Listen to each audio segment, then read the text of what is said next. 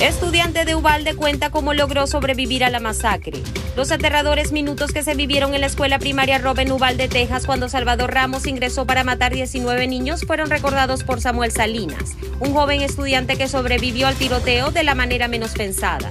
Le disparó al maestro y luego le disparó a los niños, declaró Samuel Salinas en una entrevista exclusiva con ABC News. Creo que me estaba apuntando a mí, aseguró el pequeño. De acuerdo con el informe, una silla detuvo una bala que se dirigía hacia él. El atacante de la escuela primaria Robin Uvalde, Texas, identificado como Salvador Ramos, de 18 años, que el martes dejó 21 muertos, salió del armario de un salón de clases disparando a los agentes tácticos de la patrulla fronteriza que ingresaba a la sala.